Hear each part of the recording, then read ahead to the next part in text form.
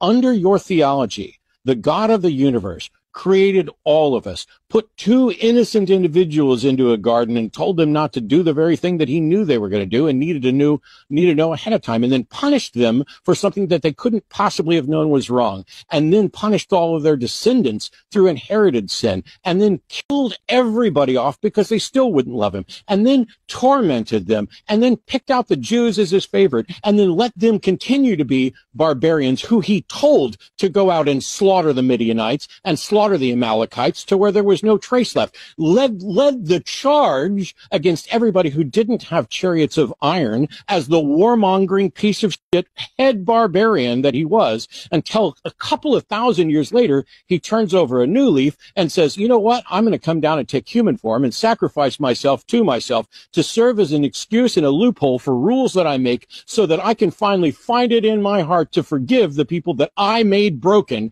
And then they're going to sit there and embarrassingly not represent the truth of the book or what I've said. They're going to sit there and tap dance. And when asked a simple question about who made humans, they're going to say God is still making humans. You, sir, should be absolutely embarrassed.